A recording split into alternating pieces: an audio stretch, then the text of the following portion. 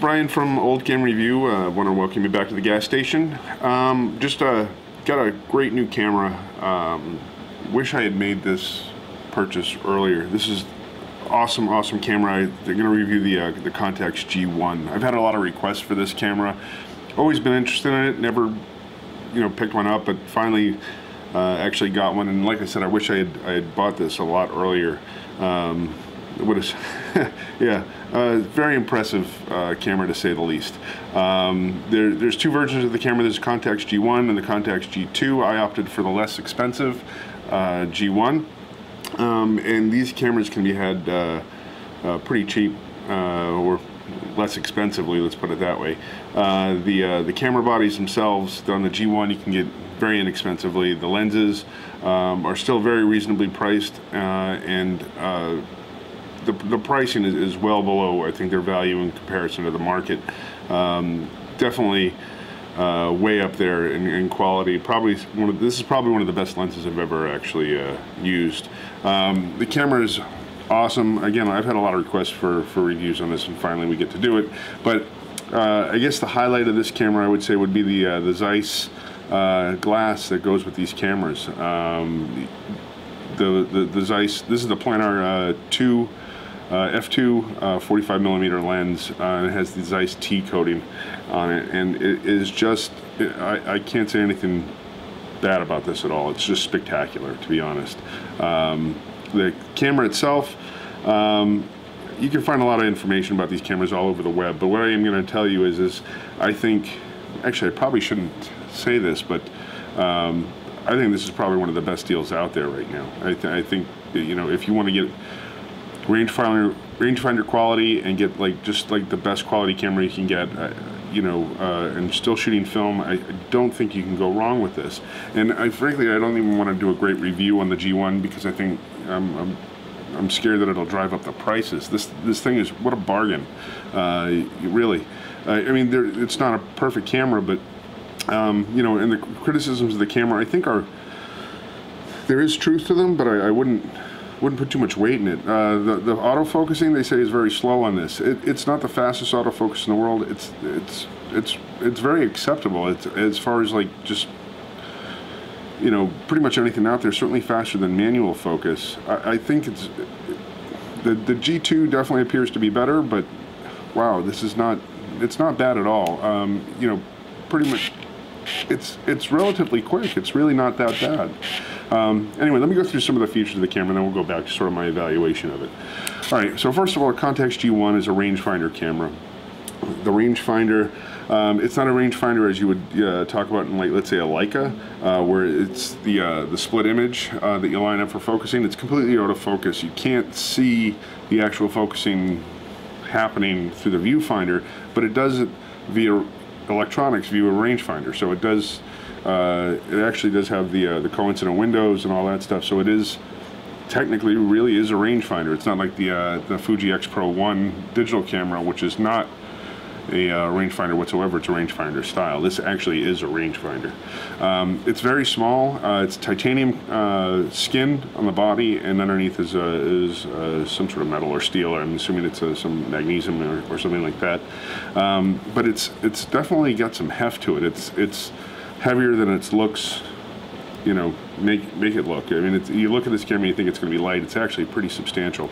Um, controls uh, basically you have two options for controls. It's either you know uh, aperture priority or full manual. There's no shutter priority mode on it. So uh, you're going to be you know if you can handle one of those two I think you'll be okay. And most people usually shoot you know in manual or uh, or aperture priority. But you know, shooting if you want to change your shutter speed, you know, you can go ahead and do that. Just you just you need to know a little bit about cameras. It's uh, not a completely full auto camera uh, at all. Um, you'll need to understand, you know, what what aperture you're going to want to put it at, and that and how that relates to shutter speed, etc. So uh, you, there is some knowledge that is required to use this camera.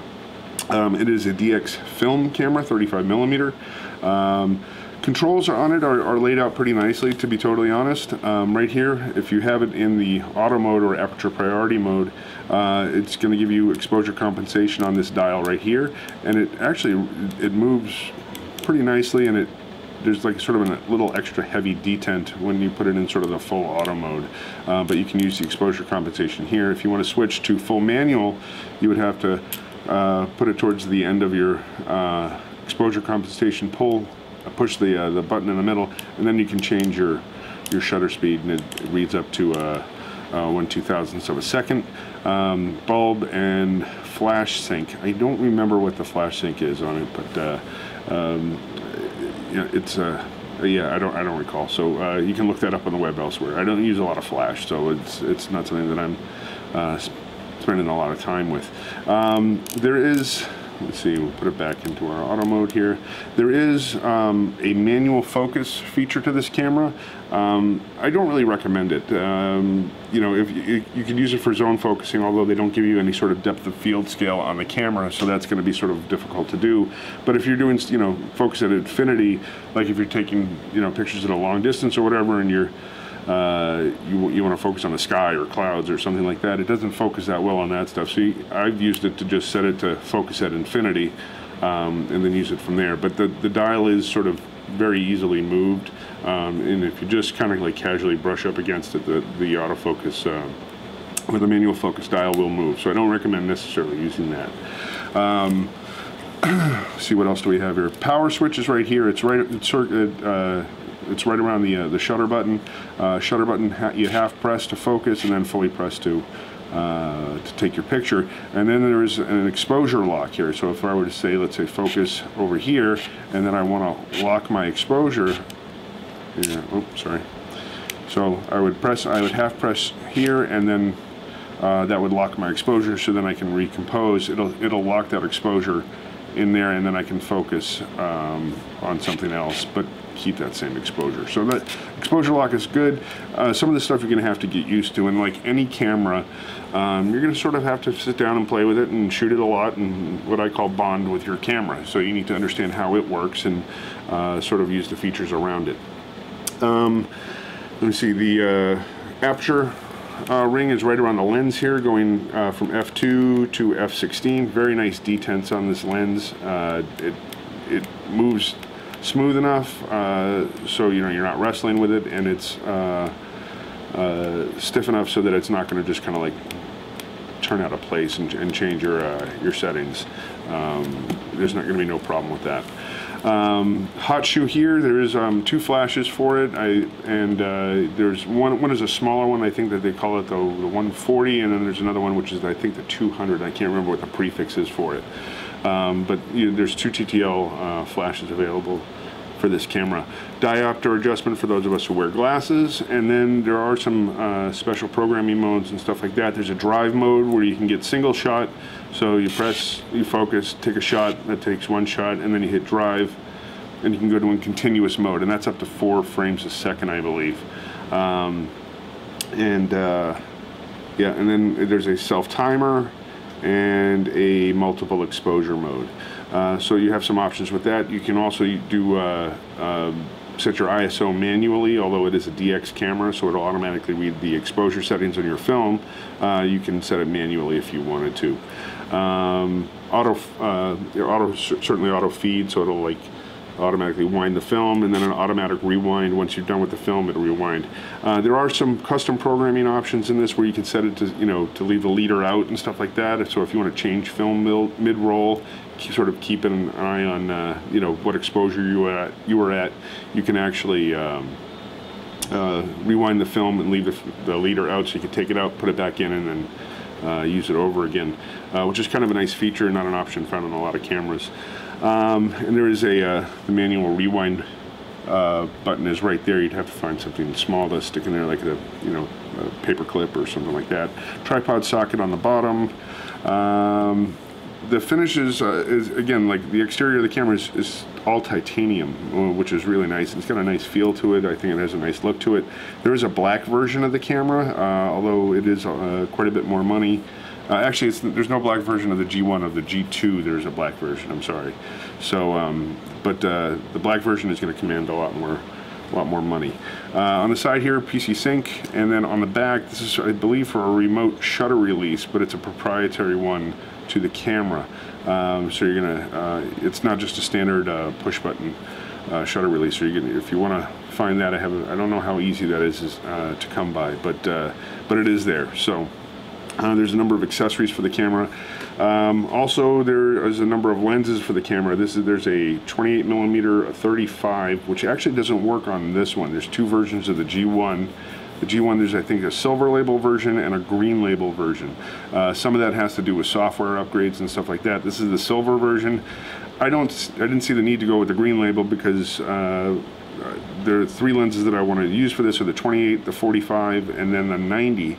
Uh, there's a this one can only use the 35 millimeter lens I think if you have the green label and um, and there's a I think the zoom you can't use the zoom lens on this one um, and I don't know if you can do it on a green label either but the G2 can use all of the lenses but I didn't you know for everything I was reading I didn't really need all the features of the G2 it does focus a little bit faster uh, higher frames per second uh, I think it goes up to six frames per second uh, shooting film. I'm not an action guy. I don't know. Uh, you really need to sort of like figure out what what it is your need is for the camera.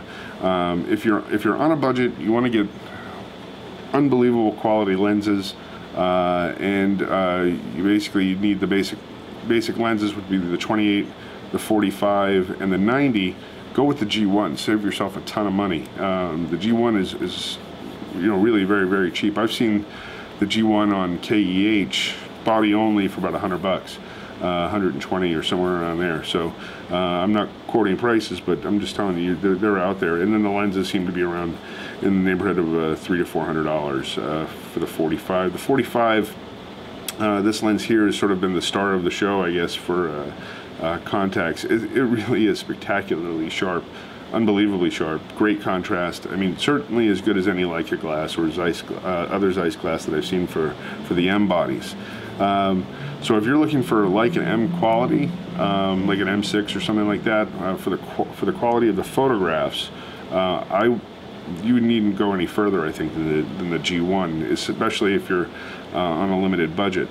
Um, you know, so you know, for the for the price of a G1 uh, let's say the 28, the 45, and the 90, you're looking at probably, let's say $400. Uh, you can actually get the 90 even. Let's say uh, four, eight, let's say $1,000 in lenses plus $100 for the body. So you can get three lenses, or it's probably going to be a tiny bit more than that, but that, I figure that's a good ballpark. So you're going to have three lens kit and the camera uh, for, for about the same that you would pay for just an M6 body. Um, I'm really having a hard time justifying buying an M6 or anything else like that, uh, certainly on a budget, when you look at the features of this. Granted, the, the rangefinder feel uh, of the Leica is definitely superior. It's definitely a more solid feeling camera. Um, and uh, the, the, manual focusing is nice on the Leica, but if you're looking for, if you're looking purely as image quality, I don't think you're going to go wrong with this, and especially uh, uh, at this budget, yeah, this is a, I think almost a no-brainer you're not losing anything image quality wise by going with this camera. I, I can I can tell you that much. Just take you know take a look for yourself. Go on to flickriver.com, uh, look up uh, Contax uh, G1 or 2, and look up the, uh, the Zeiss Planar uh, f2 45 millimeter lens or any of the Contax G lenses, and you're going to see just spectacular images uh, all the way around. So, I don't know, I, I, don't know if you can tell, but I'm kind of excited about this camera. Um, really is awesome. It feels great in the hand. It's a little bit small for me, tiny bit small, but honestly, it's just easy to carry around. It's not a big camera. You can bring this camera anywhere and get spectacular photographs out of it. Um, I don't know. I, I, I'm, I'm really impressed, and like I said, I, I can't say any more good stuff about it. Um, again, there's more information on the web about this camera if you want to check it out. My this, my videos here are more about impressions, and I'm very impressed with this camera. Uh, it really is just spectacular. Oh, again, some more features. Uh, the uh, film counter right here is right here. Uh, LCD. Oh, that's another thing. When you're shopping for these cameras, they, apparently they have do have some problems with the LCDs, and they have problems with some bleeding uh, on the LCD. So, um, which means that the uh, liquid crystal display is broken or something, and then uh, the liquid actually kind of pours out into the into where you look, and it turns like black. Um, so keep an eye out on that. Uh, the cameras are, you know, were extremely expensive when new. Uh, so, you know, they were owned by a lot of people who uh, had a lot of money and probably didn't use them much. So there's a, a whole glut of them on the market, and they're generally in pretty good shape. Um, so find yourself a good one. Don't, you know, don't rush to find the first one that you see. Um, you know, check on eBay, check on KEH. I, I think KEH is sort of a good resource. They have a six-month warranty on their cameras. Uh, I bought mine uh, via Craigslist. Um, got a great deal on it. Um, met a nice guy. You know, we've had a, talked about cameras for a long time, so that's kind of fun. So if you like to, uh, you know, I like to buy stuff off Craigslist. uh, You know, and uh, you get to talk to people and always uh, meet somebody new. So, but uh, yeah, so the Contax G1 Zeiss lenses, unbelievable image quality. I I'm gonna give this camera like two huge thumbs up, 10 out of 10. Um, I won't say a 10 out of 10. That's not really true two thumbs up. Um, if, I were, if I were to rank this, I'd probably do a seven out of ten, just because the, it is kind of limited as far as like what can be used, what can't be used, different lenses and stuff like that. So you don't have like complete transparency with the Contax, uh, where you can't use all the lenses that came out for the G series. Uh, certainly on the G1. As far as the G2 is concerned with uh, the upgraded focusing and stuff like that, yeah, if you need that and you need some speed and stuff like that, definitely go for the G2, but you're going to probably be spending in the neighborhood of $500 plus or minus uh, on a G2 body. And the G1 body, again, it's going to be somewhere in the neighborhood of a, a you know 100 to I'd say up to probably $200 um, for you know good usable body. So anyway, I don't know. I think I've covered most of everything here. Um, like I said, kind of excited about the camera. Highly recommend it. Definitely worth getting. Uh, if you want rangefinder and you want Leica quality on a budget, there's no better option, I think, in the market, in my opinion, is Contax G1. Um, any focusing issues that people have had, I think they just haven't necessarily spent the time to learn the camera. I had one out of focus shot on probably six rolls that I've processed so far, and uh, one or two actually out of focus, and they were both my fault. Uh, no fault of the camera. So, um, yeah, I, I'm really, really very happy. Anyway, that's it. Brian, the gas station, uh, Contax G1, highly recommend it. Enjoy. Thanks, guys. Uh, more reviews coming.